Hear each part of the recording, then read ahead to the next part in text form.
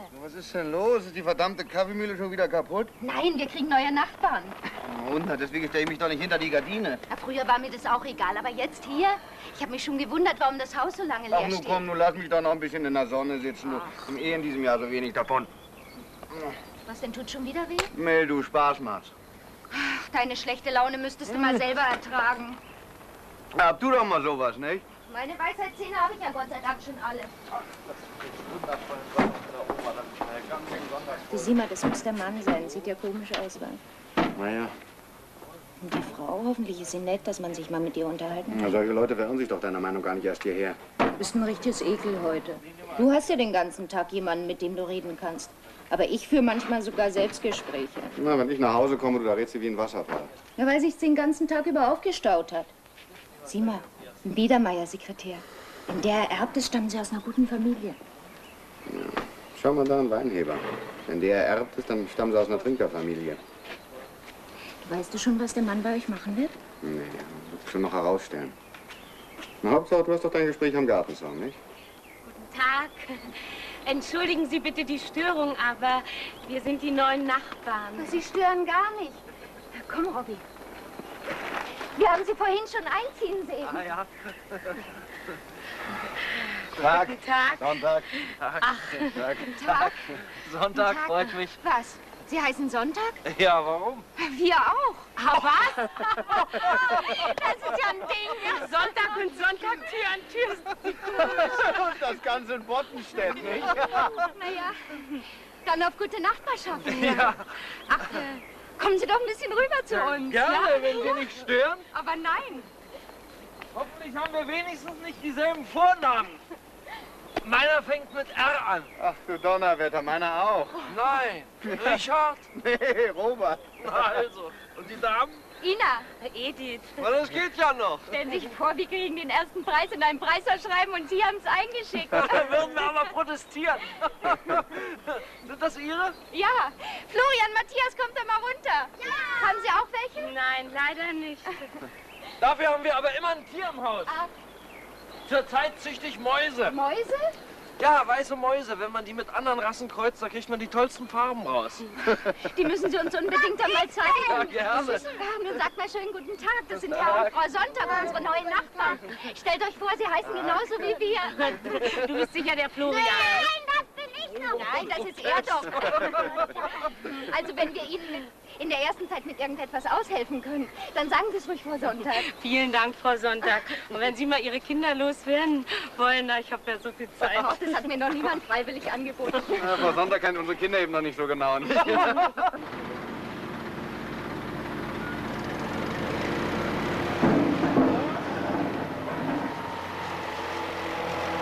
Also, schau her. Gibt's denn das auch? Na endlich. Wenn die Straße da mal fertig ist, dann lohnt es sich doch wenigstens hin und wieder mal seinen Wagen zu waschen. Das ist mir zu der Firma kehrt. Noch ein Sonntag. Da geht er. Ja, ich weiß. Und neben uns. Okay. So ein Zufall. Ja. Kennen Sie ihn? Ja, wieso? Der Mann ist pummig, der ist umgänglich. Ja, gespannt, dass Bier auf einer Baustelle solide Währung ist. Die einzige Währung, die was gilt auf so einer Baustelle. Und interessieren würde sich für jeden.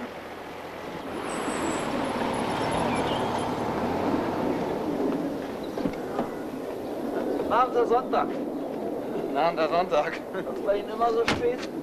Nein, aber in der letzten Zeit hatten wir wieder ziemlich knappe Termine. Ja, bei mir läuft der Laden. Meine Leute spuren, seit ich ein paar Kisten Bier habe Ja. lassen. Hier, den wollte ich Ihnen eigentlich nur geben, der ist für Sie.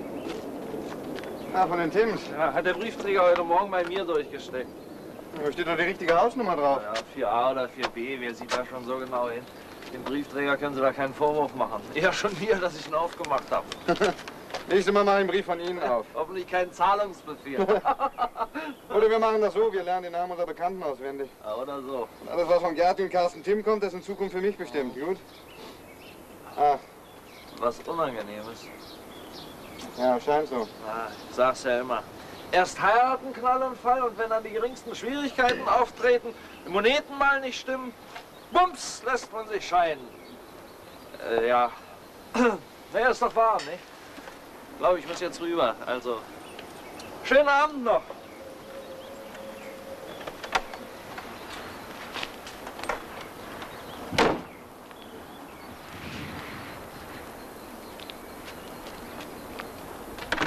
Ah, Cora, Donald. Ja, was für uns dabei? Na, mal sehen. Ja, danke. Wenn das für Sonntag dabei ist, dann steht ja neuerdings noch längst nicht fest, ob das für Sie ist, Herr Sonntag. Kann man wohl sagen, ja. Moin, Herren. Morgen. Morgen, Herr Wenn Sonntag. was für mich dabei ist, Herr Oberpostrat, dann gleich mal her damit. Ja, Moment. Zuerst mal 4a da. Augenblick bitte, Herr Sonntag. So, Ja. das ist für Sie, Herr Sonntag. Ja, stimmt, danke schön. Danke, Donald, danke. Tschüss. Wiedersehen. So, hoffentlich stimmt's. Also mit Ihnen beiden hat man es ja wirklich nicht leicht, Herr Sonntag. Meinetwegen brauchen Sie sich keine Sorgen zu machen, Herr Donat, aber er ist ja wohl ein ganz penibler. Mein Schatz, du. Ich hab was uns gehört. Also Robert ist doch nun wirklich kindisch. Was heißt denn hier kindisch? Er ist ihm sogar mit dem Wagen entgegengekommen. Weil er schon zur Arbeit gefahren ist. Ja, er muss auch gleich zur Arbeit. Du, den Wagen kannst du mir mal wieder da lassen. Ich müsste dringend zum Friseur. Nee, nee, du, morgen, mein Schatz, morgen. Morgen bekommt Beke seinen Wagen wieder, da kann er mich mitnehmen. Hm. Ach Gott, das scheußlich. Tschüss, mein Schatz, wiedersehen, muss gehen. Ist was Wichtiges dabei? Ja, hier, hm, Prospekte. Und dafür bist du extra rausgelaufen? Du, Robert, wir müssen doch mit denen auskommen. Die bleiben mindestens zwei Jahre. Ja, leider, leider, du. Ich habe schon immer was gegen Leute gehabt, die so hießen wie ich. Also tschüss, mein Schatz. Tschüss. Aua, mein Zahn. Verzeih. Und tu Herrn Sonntag nichts.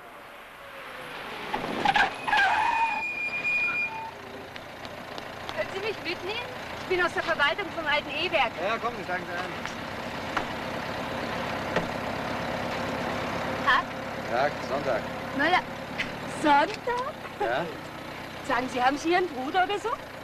Nein, warum? Ja, Ich habe neulich schon mal einen Bus verpasst. Da hat mich einer mitgenommen, der hieß auch Sonntag.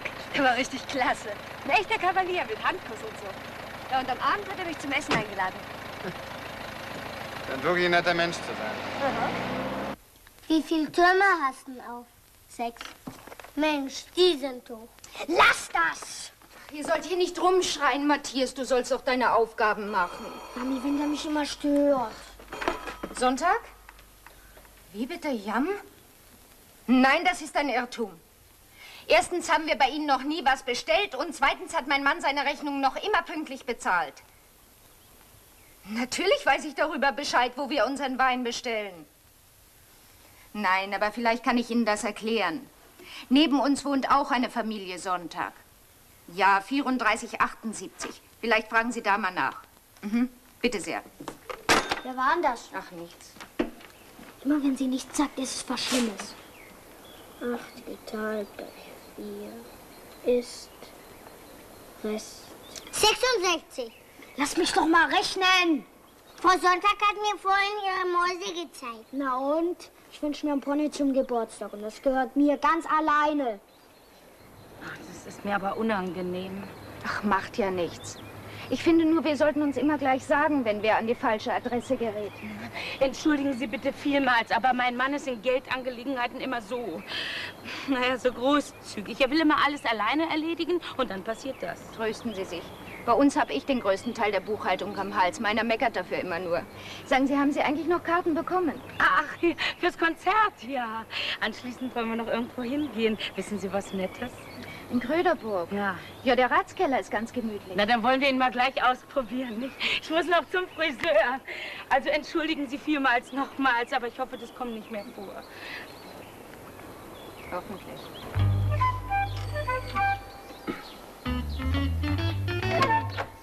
Guten Tag, Guten Tag. Frau Sonntag. Ja, Wenzel ist mein Name, bin Gerichtsvollzieher. Muss bei Ihnen pfänden. Fenden. Bei mir? Nein. Doch, ich habe einen vollstreckbaren Titel gegen Sie.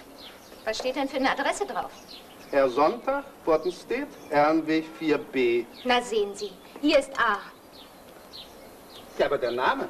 Kommt öfter vor, als Sie denken. Daneben an, gehen Sie mal darüber. Da wohnt nämlich auch noch ein R-Sonntag.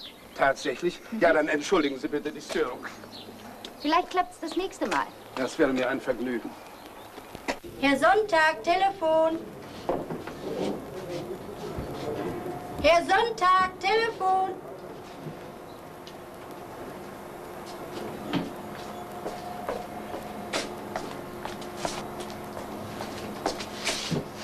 Ja, Sonntag, was ist denn? Was? Verstehe kein Wort. Ja, was denn für eine Verschalung? Ja, hier ist Robert Sonntag. Ach, nur Kinder, nur lasst mich doch in Ruhe. Ist ja langsam albern. Oh, Verzeihen. Tut mir sehr leid. Eine Missgeschichte. Zu Einkehr. Ja. Schon gut, kann jedem mal passieren. Arschloch.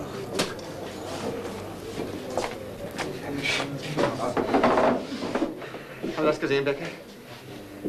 Also dieser Schuppen, der ist ja aber verdammt eng. Sollte man lieber eine zweite Kantine hier aufstellen. Getrennt? Für Gastarbeiter und Einheimische? Ach, Quatsch. Ach, wäre das nicht? Wenn wir Sie wenigstens beim Essen nicht mehr sehen würden? Na, Sie können ja sagen, was Sie wollen. Aber wenn Sie sowas hier veröffentlichen, dann ist das keine Privatangelegenheit mehr. Damit schaden Sie uns allen. Mit was schade ich euch allen? Ja, mit, mit Ihrem Leserbrief hier. Können Sie doch nicht machen, so gegen die Leute zu polemisieren. Deren Mitarbeit sind Sie schließlich auch angewiesen. In meinem Leben noch nie einen Leserbrief geschrieben. Also, jetzt wäre ich aber langsam sauer, wirklich. Da steht's doch. R. Sonntag. Ja, Sonntag, Herr Sonntag ist mein, ist mein Nachbar. Schreibt doch nicht so einen Quatsch. Außerdem habe ich nichts gegen Fremdarbeiter, im Gegenteil. Ja, der... Oh, entschuldigen Sie. lieber. Ich konnte mir das auch gar nicht vorstellen. Aber Sie sollten das denen auch sagen. Was? Ja, und ob ich denen das sage. Aber vorher habe ich noch jemand anderem was zu sagen. Zigarette, Herr Nachbar? Herr Sonntag, ich habe diesen Brief nicht geschrieben. Und ich möchte ihn noch nicht geschrieben haben, ist das klar? Aber ich habe doch nur ausgesprochen, was viele denken. Ich nicht. Ah. Oh, na bitte. Das ist Ihre Sache. Außerdem war das gar nicht so gemeint. Ich habe mich nur über so einen Burschen geärgert, der Mist gebaut hat. Und hinterher liest sich alles nachher furchtbar wichtig. Ja, dann stellen Sie doch die Sache wenigstens richtig und bekennen sich öffentlich zu Ihrem Brief. Tu ich doch. Ich habe ihn ja unterschrieben. Ja, leider. Wollen Sie? Soll ich einen Rundtreiben loslassen? Noch mehr Staub aufwirbeln? Ist mir doch ganz egal, ich will Ihren Brief nicht ausbaden. Die Leute denken doch hier, da, Peter hat mir sowieso schon einen Teller Erbsensuppe aus Versehen über den Anzug gekippt. Oh, Ja, es tut mir aber leid. auf alle Fälle werde ich eine Richtigstellung von der Zeitung verlangen. Wäre natürlich eine Möglichkeit, oder? Was soll ich Ihnen schreiben? Herr Sonntag, Erlenweg, legt Wert auf die Feststellung, dass er nicht identisch ist mit Herrn R. Sonntag, Erlenweg? Auf jeden Fall ist die Verwaltung erstmal ein Rundschreiben los. Muss nur noch übersetzt werden, weil Ihr Fall selbst auf Deutsch ziemlich schwierig zu erklären ist. Sie glauben, das genügt? Ja, abwarten. So, heute wird mein Wagen fertig. Ab morgen kann ich Sie dann mitnehmen. Wird sich meine Frau freuen. Die lebt doch richtig auf, wenn sie einen Wagen hat. Verdammt. Was ist denn? Ach.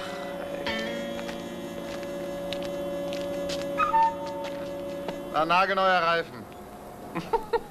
Kommen Sie mal her. Der andere auch. Was denn? Oh, das tut mir aber leid. Ja, mir auch. War auch ein neuer Reifen. Durchgestochen, was? No, nur die Ventile aufgemacht. Ich schätze, die Gastarbeiter lassen grüßen, was? Diese Idioten. Hätten sich doch wenigstens an die richtige Adresse wenden können.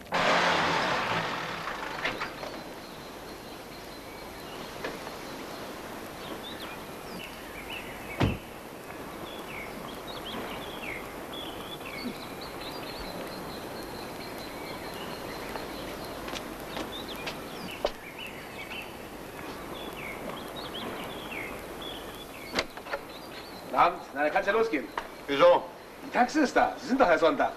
Ja, richtig, aber nun habe ich keine Taxe bestellt. Na, hören Sie mal doch selber angerufen. Hier steht's doch, ne? Sonntag, RW 4. Aber suchen Sie mal nebenan, da wohnt auch noch ein Sonntag. Ne? Das kann man ja nicht ahnen. Entschuldigen Sie die Störung. Wiedersehen. Wer war's denn? Ach, Gott, Taxifahrer. Hm. Sicher für nebenan, die wollten heute ins Konzert. Ja, wie viel? Gibst du mir mal das Brot drüber? Danke. Was ist denn heute los? Das ist ja. Na, ja, komm, lass mal gehen. Entschuldigen Sie, aber nebenan ist keiner. Na und? Na, die Anfahrt muss bezahlt werden. Sie sind doch sicherlich ein Bruder, sowas ähnliches. Oh nein, ganz bestimmt nicht. Was machst du denn? 2,50. 2,50. Bitte. Vielen Dank. Wiedersehen. Wiedersehen. War das wieder ein Taxifahrer? Ja, derselbe. Die sind gar nicht mehr da. Wahrscheinlich hat es Ihnen zu lange gedauert und Sie haben doch Ihren eigenen Wagen genommen. Ja, aber ich kann die Anfahrt bezahlen. Ein wirklich feiner Nachbar. Wieso denn du? Ja, wieso ich? Oh, Du, Papi, ich habe fünf Mark gespart. Darf ich mir zwei weiße Mäuse kaufen? nein, das darfst du nicht. Wie oft soll ich dir denn das noch sagen?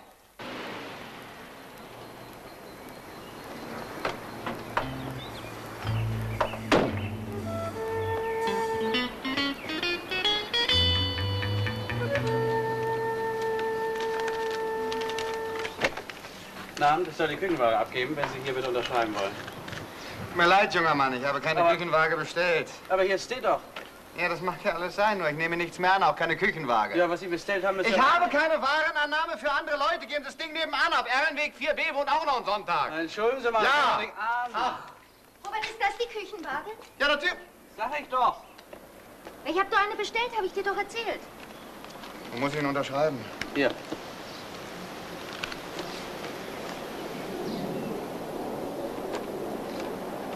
Danke. Äh, warten Sie mal, junger Mann. Hier.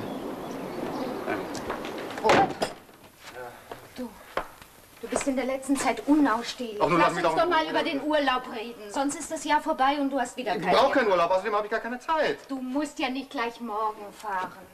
Sag mal, drückt dich sonst noch was? Ja, Sonntag Nummer zwei. Du, Das ist mir wirklich langsam zu blöd für die Dummheiten und die Nachlässigkeiten von anderen Leuten gerade zu stehen. Du. Reg dich doch nicht so auf. Bei gleichen Namen werden immer Verwechslungen vorkommen, besonders in der ersten Zeit. dich möchte ich sehen, wenn ihr eines Tages die Fremdarbeiter ein paar Scheiben einschmeißen, nicht? Oder du erfährst, dass dein Mann Angst, sie hat mit der hübschen Sekretärin. Hat er denn das? Ach du, was weiß ich denn. Heute Morgen habe ich ein Mädchen getroffen aus der Verwaltung. Ich war ganz hingerissen von ihm. Also mit der Frau komme ich prima aus. Man kann mit ihr ganz normal über alles reden. Sogar über den Besuch des Gerichtsvollziehers. Was denn? W- Wird da bei denen noch gepfändet? Mhm.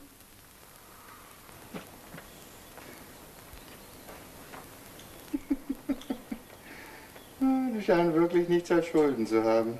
Nicht zu fassen. Du, Ina, hier, mal. Der Spediteur mahnt schon zum dritten Mal das Geld für den Umzug an. Ja, das hat er doch schon längst. Naja, von wegen. Das nächste Mal droht er mit dem Zahlungsbefehl. Wem? Uns? Na, na, nachher denen natürlich. Woher weißt du denn das? Heute habe ich mal einen Brief von ihm bekommen. Und den machst du auf und liest ihn in aller Seelenruhe von Anfang bis Ende? Ja, natürlich, warum denn nicht? War gar nicht richtig zugeklebt. Robert, jetzt tu mir aber einen Gefallen und geh rüber und gib den Brief ab und entschuldige dich bei ihm. Ach, Ina, nun komm. Wichtig. Äh, Du, was schreibt denn eigentlich Gerti? Ach, dass sie die Scheidung hinter sich hat. Ach ja, ja. Du, jetzt geh aber rüber und gib den Brief ab. ja.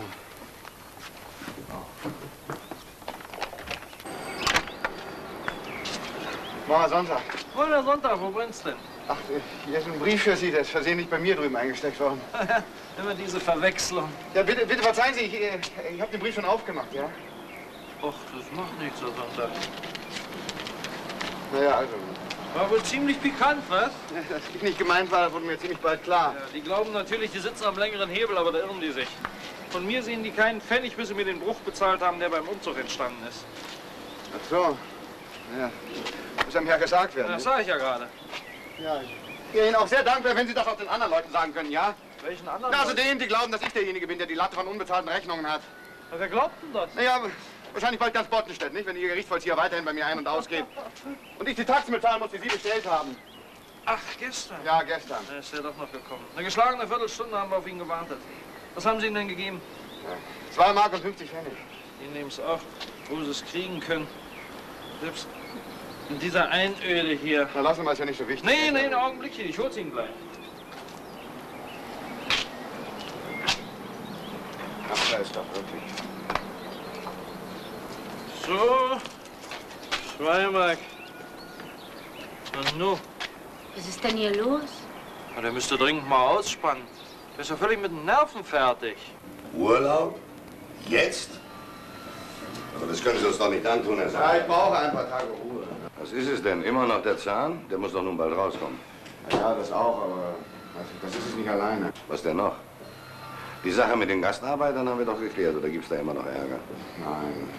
Höchstens mit meinem Namensvetter selber. Ja, lachen Sie nur. Haben Sie mal jeden zweiten Tag jemand im Haus, der irgendwelche Schulden kassieren will?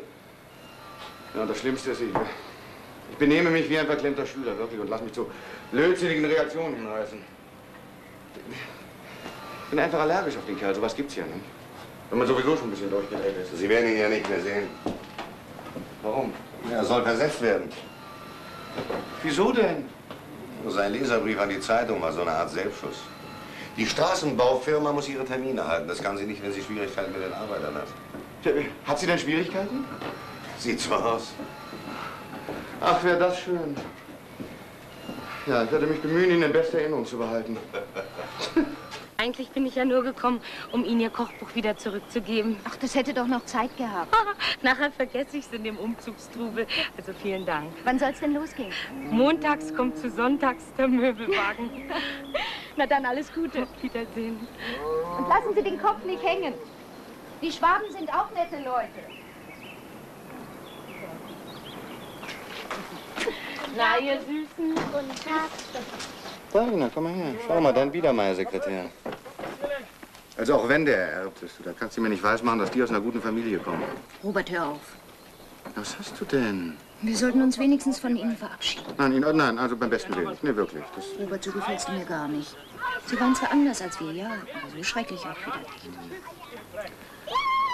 also gut. Ich bin ja schon ganz friedlich.